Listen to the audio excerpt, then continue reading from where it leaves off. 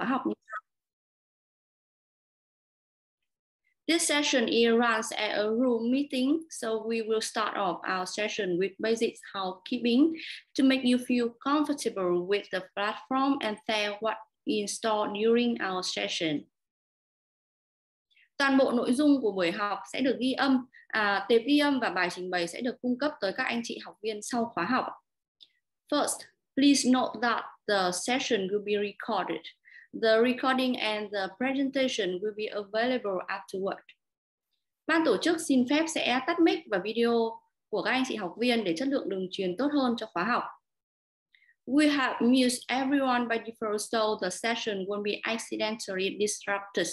But when you want to talk later during the discussion, just click the microphone icon on the forum bar to mute and unmute yourself If you encounter any challenges on that, please send a message to our host. Nếu anh chị có câu hỏi hay là ý kiến muốn đóng góp cho buổi học thì mong anh chị sẽ chuyển thông tin lên phần chat box của buổi học ạ. Hoặc anh chị có thể thông báo tới ban tổ chức để được bật mic và đặt câu hỏi trực tiếp cho các diễn giả.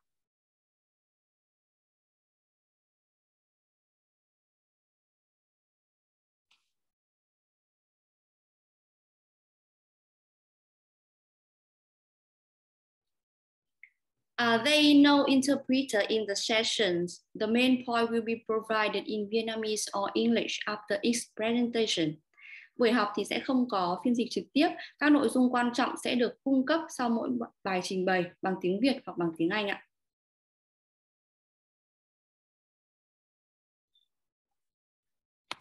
Sau đây thì tôi xin phép được à, thông báo buổi học chính thức được bắt đầu.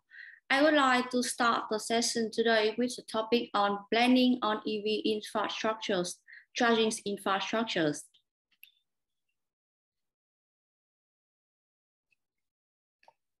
Trong buổi học ngày hôm nay thì chúng ta sẽ được uh, nghe các diễn giả tới từ nhiều quốc gia khác nhau trình bày về các nội dung như hiện trạng, thách thức, vai trò của chính phủ trong việc tạo điều kiện và quản lý thiết lập mạng lưới chạm sạc xe điện, cũng như là các tiêu chuẩn kỹ thuật về chạm sạc và hướng dẫn quy hoạch mạng lưới quản lý lưới điện. Chúng ta cũng sẽ được nghe về các cái yếu tố tạo nên môi trường thuận lợi cho tất cả các bên liên quan và phát triển các mô hình chạm hợp tác liên quan đến chạm sạc. Cuối cùng chúng ta sẽ được xem các ví dụ điển hình những bài học kinh nghiệm tốt đối với các nước châu Á và các nước phát triển đến từ các đại diện từ Tây Ban Nha, Trung Quốc và Hàn Quốc. Ở phần cuối cùng chúng ta sẽ có nội dung thảo luận lúc đó thì chúng ta có thể đặt rất là nhiều câu hỏi cho các diễn giả To start our session today, I would like to introduce Mr. Phan Hoàng Phương.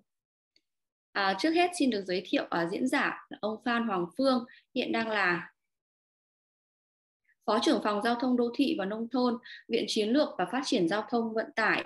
Ông Phan Hoàng Phương thì đã có rất nhiều năm kinh nghiệm nghiên cứu, xây dựng chính sách quy hoạch phát triển giao thông vận tải tại Việt Nam.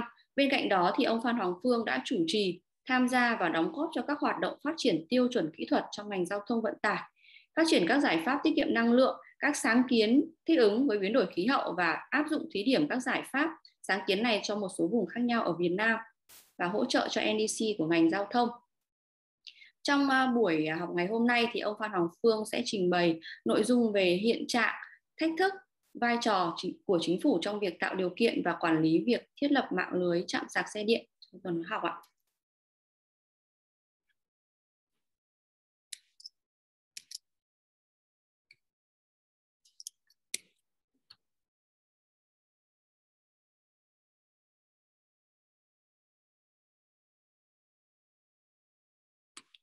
Uh, to start the session today, Mr. Phan Hoài Phương uh, will deliver the presentation on current status, challenges, and the roles of government in facilitating and managing charging station network establishment.